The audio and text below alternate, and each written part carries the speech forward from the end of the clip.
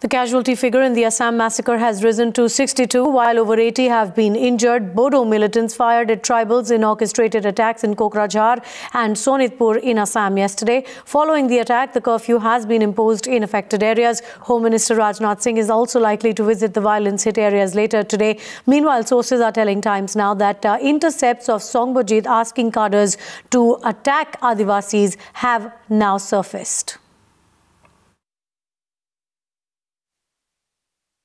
And this is the village where the maximum number of casualties have been recorded so far. Let me tell you that last night uh, five different attacks took place uh, at different locations in Kokrajhar and Sonitpur district. Uh, three attacks took place in uh, took place in uh, Kokrajhar district and two attacks uh, took place here in Sonitpur district and we are right now near one of the villages which where the maximum number of casualties uh, have been recorded 32 people have been killed in this village where NDFBS militants opened indiscriminate firing on innocent civilians and they have targeted even women and children. Uh, though the center or the state government has uh, stated that additional forces have been rushed uh, to control the situation and the army is on also on standby. But on ground let me tell you that there is a sense of insecurity there is a sense of panic among the people. Even as we tried to reach this village when we, are, we were coming on the road we have seen large number of people fleeing from their villages because there is a sense of insecurity in the minds of these people. They are fearing that more such attacks may take place even today. So they are fleeing the, from the villages and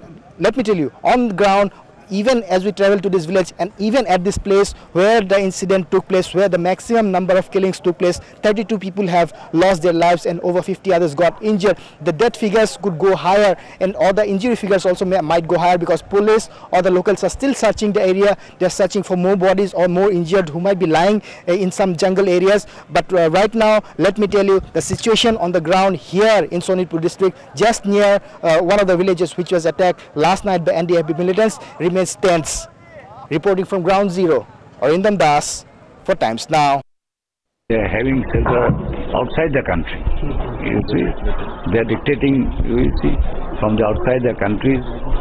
So we have to uh, tackle them also, one inside, one outside. Uh, so this is a great challenge for all of us, for for whole of the country also. Uh, they want to have a base here, different groups all these uh, insurgency group, even jihadi group also.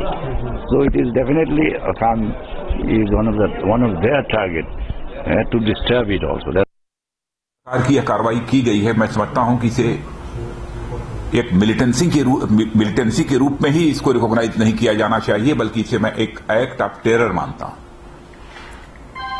और act of terror से जैसे निपटा जाता है वैसे ही हम इससे भी निपटेंगे मैं समाज के सभी लोगों से अपील करना चाहता हूँ कि वह पूरी तरह से शांति बनाए रखें। सरकार ने इसे बहुत ही गंभीरतापूर्वक लिया है।